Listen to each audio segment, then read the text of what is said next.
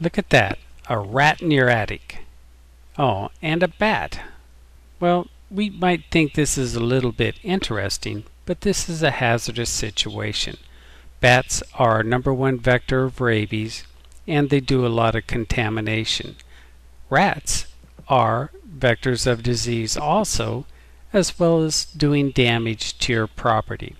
Contaminating your insulation, sometimes they chew on telephone lines, electrical lines, cable lines, and all around little mess makers.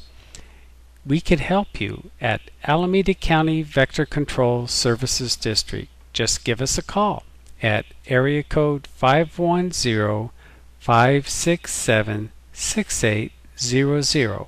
You could schedule an appointment with an inspector, and I'm sure we could find a way to resolve these problems.